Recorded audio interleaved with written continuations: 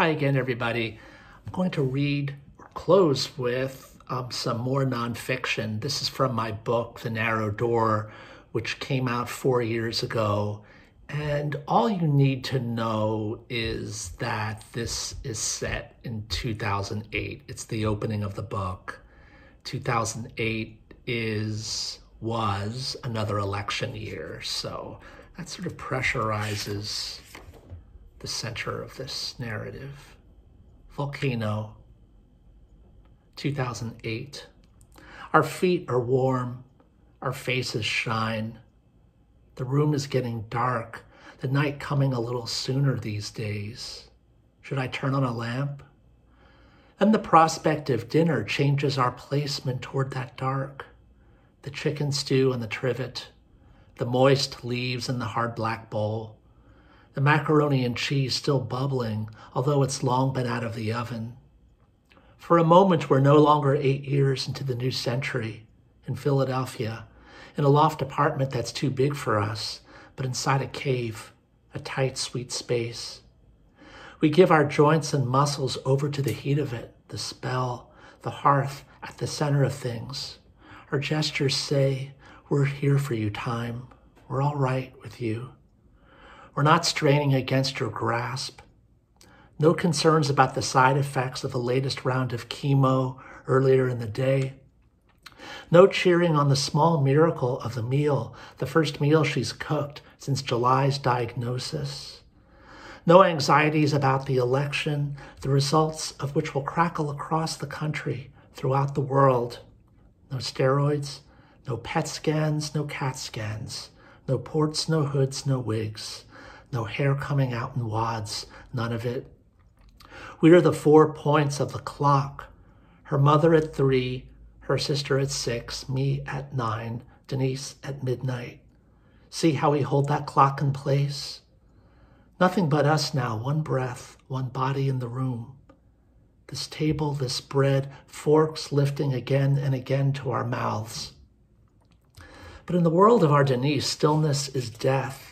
If illness weren't ragging her brain, she'd be driving to Chester County later tonight to the apartment of a lunatic golfer with whom she's had the best sex. Or she'd be steaming through Fairmount Park on inline skates, or laughing with a friend, or arguing with that same friend. Any opportunity to slam up against the unexpected, abruptness, collision, anything to wrench her awake, as if she needs to be wrenched awake, for God's sake. She has more electricity in her than the train yard on the other side of the river. The freight cars bang tonight, startling us with all the suddenness of thunder. Or is that really thunder? A storm coming toward us from the west side of the city. She gets up from the table. She walks to the kitchen, brings back a second loaf of bread, sits down. She looks happy tonight. She props up her chin, looks at us with a satisfied gaze with melancholy in it. Still, it cannot be so easy to see the two sides in her the writing side, the family side, embodied in the group of people she loves, sitting across the table in peace. Complete peace. They're not supposed to live in peace. How would she get any writing done if all she had were peace?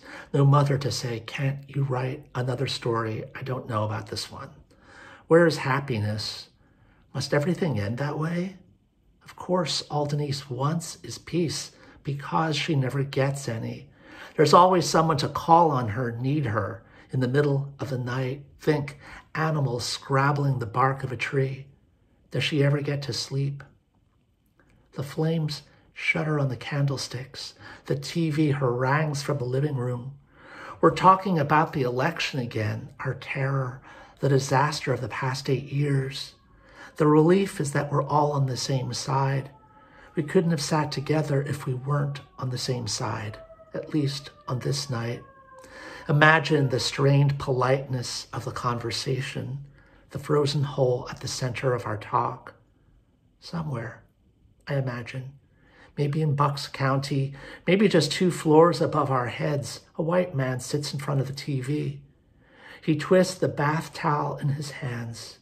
He can't give his mind over to the fact that the black man might win. if the black man does win, this man will rise up tonight. He'll walk down the street. He'll push another black man who's coming toward him with a bottle in his hands. While two streets away, two college students will throw open their windows. They'll bang pots and pans, cry up at the stars. No sense that there's anything but joy in the world tonight. Some of their joy is filling up the apartment right now. It's not pleasure or delight, but tougher than that, more encompassing, more dire. Is it just the news? The stirred up molecules in the air? Or is it still the hearth of us?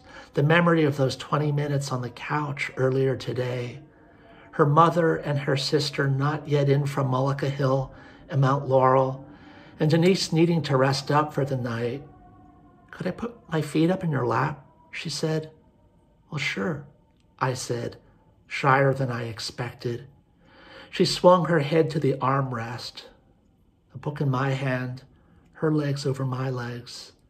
How light the weight of her. She went right under, the sounds of her breathing calming the room.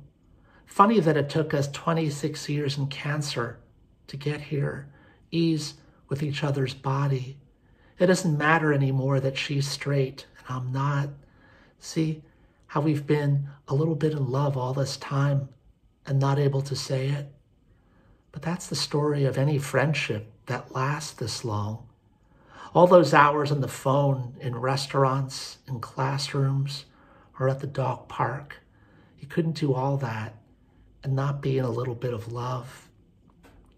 Now she looks at the bookshelves, the paintings on the walls. Maybe it no longer seems like the place she had to settle for after giving up the apartment of her dreams. Two weeks in that apartment, two weeks. All because it was three flights up, stairs, stairs, and more stairs. And what if that day she had to sit on the second landing weeping, waiting for someone to carry her to the third floor because she didn't have the energy? Nothing was worse than that. At least she has her elevator now. Life on a single floor with a decent washer and dryer just in case she shits those new expensive jeans. Her family is here. I am here. So what if her hair comes in puffy, white, and dry? If the chemo's clouded her magnificent eyes? If her cat's gotten radiation sickness from curling up on her still taut stomach? She lifts her chin. She starts dancing, not a timid dancing, but a life large, goofy. It's great to be in my skin dancing. Stop, her mother begs, as if it hurts for her to watch it. Stop, please, Denise. But her mother should know better than that. Denise only dances harder.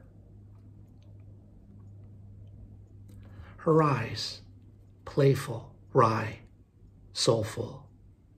Her charisma, her wattage, a movie star.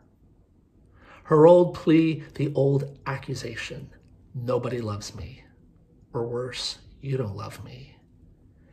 And her joy when I shut my eyes or gave her that look that said, I've had all I can take of you. Her quickness to laugh, the laugh that came from deep in the body, part silly, part womanly. Her cup of scalding hot coffee held with both hands close to the collarbone and throat, even if it was 97 degrees outside. Her toned olive arms, her monkey feet, her ability to walk into any room and warm the atmosphere, a ray of energy moving right into you.